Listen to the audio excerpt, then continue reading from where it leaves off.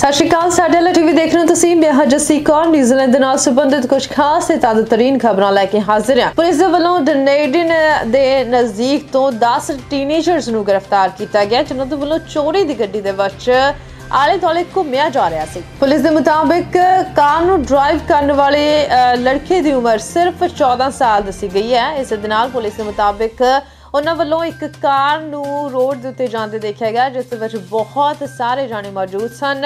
ਇਸ ਕਾਰ ਨੂੰ ਰੁਕਣ ਦਾ ਇਸ਼ਾਰਾ ਕੀਤਾ ਗਿਆ, ਪਰ ਇਸ ਦੇ ਵੱਲੋਂ ਤੇਜ਼ ਸਪੀਡ ਦੇ ਨਾਲ ਉੱਥੋਂ ਗੱਡੀ ਨੂੰ ਭਜਾ ਲਿਆ ਗਿਆ, ਜਿਸ ਤੋਂ ਬਾਅਦ ਅਗਲੇ ਇੰਟਰਸੈਕਸ਼ਨ ਤੇ ਜਾ ਕੇ ਇਸ ਨੂੰ ਰੋਕ ਲਿਆ ਗਿਆ। ਕਾਰ ਰੁਕਣ ਤੋਂ ਬਾਅਦ ਪਤਾ ਲੱਗਾ ਕਿ ਇਸ ਡਰਾਈਵਰ, ਜਿਸ ਦੀ ਉਮਰ 14 ਸਾਲ ਹੈ, ਇਸ ਦੇ ਨਾਲ ਨਾਲ 6 ਜਾਣੇ ਹੋਰ ਕਾਰ ਦੇ ਵਿੱਚ ਸਨ ਤੇ ਬਾਕੀ ਦੇ ਬੂਟ ਦੇ ਵਿੱਚ ਸਨ। ਪੁਲਿਸ ਦੇ ਮੁਤਾਬਿਕ ਇਸ ਕੇਸ ਨੂੰ ਯੂਥ ਏਡ ਦੇ ਲਈ ਰੈਫਰ ਕੀਤਾ ਗਿਆ ਹੈ ਤੇ ਬਾਕੀਆਂ ਨੂੰ ਉਹਨਾਂ ਦੇ ਘਰ ਭੇਜ ਦਿੱਤਾ ਗਿਆ ਵਾਰਨਿੰਗ ਦੇ ਕੇ।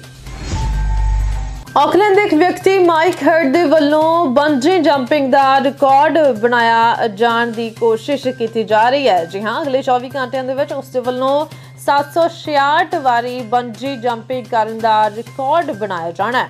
ਦੱਸਦੇ ਕਿ ਇਹ ਰਿਕਾਰਡ ਮੌਜੂਦਾ 765 ਵਾਰੀ 24 ਘੰਟੇ ਦੇ ਵਿੱਚ ਬੰਜੀ ਜੰਪਿੰਗ ਕਰਨ ਦਾ ਹੈ ਤੇ ਮਾਈਕ ਹਰਡ ਦੇ ਮੁਤਾਬਿਕ ਉਸ ਦੇ ਵੱਲੋਂ ਇਹ ਰਿਕਾਰਡ ਤੋੜਨਾ ਹੀ ਮੇਨ ਮੋਟਿਵ ਦੱਸਿਆ ਜਾ ਰਿਹਾ ਤੇ ਨਾਲ ਦੀ ਨਾਲ ਇਸ ਨੂੰ ਮੈਂਟਲ ਹੈਲਥ ਦੇ ਲਈ ਵੀ ਕੀਤਾ ਜਾਣਾ ਦੱਸਿਆ ਗਿਆ ਹੈ।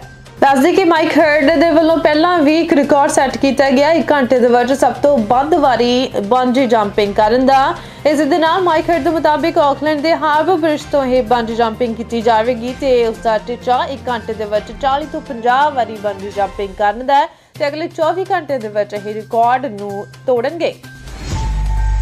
ਬੀਤੀ ਇੱਕ ਰਾਤ ਪਹਿਲਾਂ ਮਾਊਂਟ ਮੰਗਰੋਈ ਦੇ ਇੱਕ ਰਿਟਾਇਰਮੈਂਟ ਵਿਲੇਜ ਦੇ ਘਰ ਦੇ ਵਿੱਚੋਂ 78 ਸਾਲਾ ਮਹਿਲਾ ਦੀ ਲਾਸ਼ ਪੁਲਿਸ ਦੇ ਵੱਲੋਂ ਬਰਾਮਦ ਕੀਤੀ ਗਈ ਸੀ। ਇਸ ਮਾਮਲੇ ਦੇ ਵਿੱਚ ਇੱਕ 80 ਸਾਲਾ ਵਿਅਕਤੀ ਨੂੰ ਗ੍ਰਿਫਤਾਰ ਵੀ ਕੀਤਾ ਗਿਆ ਸੀ ਤੇ ਹੁਣ ਇਸ ਵਿਅਕਤੀ ਦਾ ਨਾਮ ਜਾਤ ਜ਼ਾਹਰ ਕਰ ਦਿੱਤਾ ਗਿਆ ਹੈ। ਇਸ ਵਿਅਕਤੀ ਦਾ ਨਾਮ ਜੌਨ ਐਲਫਰੈਡ ਹੈ, ਜੋ ਕਿ ਇਸ ਮਹਿਲਾ ਦਾ ਪਤੀ ਹੀ ਦੱਸਿਆ ਜਾ ਰਿਹਾ ਹੈ। ਇਸ ਦੀ ਬੀਤੇ ਦਿਨ ਟੋਰੰਗਾ ਜ਼ਿਲ੍ਹਾ ਅਦਾਲਤ ਦੇ ਵਿੱਚ ਪੇਸ਼ੀ ਹੋਈ ਹੈ ਤੇ ਅਗਲੀ ਪੇਸ਼ੀ ਅਗਲੇ ਮਹੀਨੇ ਹੋਵੇਗੀ।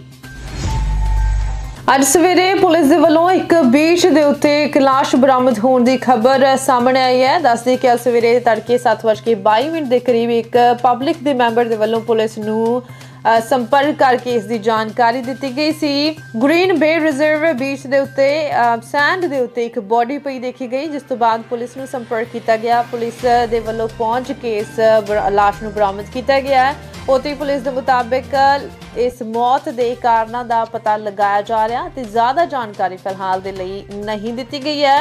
ਉਹਨਾਂ ਮੁਤਾਬਿਕ ਜੇਕਰ ਕਿਸੇ ਪਬਲਿਕ ਦੇ ਮੈਂਬਰ ਦੇ ਵੱਲੋਂ ਕੋਈ ਇਨਫੋਰਮੇਸ਼ਨ ਆਉਂਦੀ ਹੈ ਤਾਂ ਉਹ ਜ਼ਰੂਰ ਦੇਣ। ਇਸ ਸਨ ਹੁਣ ਤੱਕ ਦੀਆਂ ਕੁਝ ਖਾਸ ਖਬਰਾਂ, ਨਵੀਆਂ ਤੇ ਤਾਜ਼ਾ ਤਰੀਨ ਜਾਣਕਾਰੀ ਦੇ ਲਈ ਤੁਸੀਂ ਬਣੇ ਰਹੋ ਸਾਡੇ ਆ ਟੀਵੀ ਦੇ ਨਾਲ। ਹੁਣ ਦਿਓ ਇਜਾਜ਼ਤ, ਸਤਿ ਸ਼੍ਰੀ ਅਕਾਲ।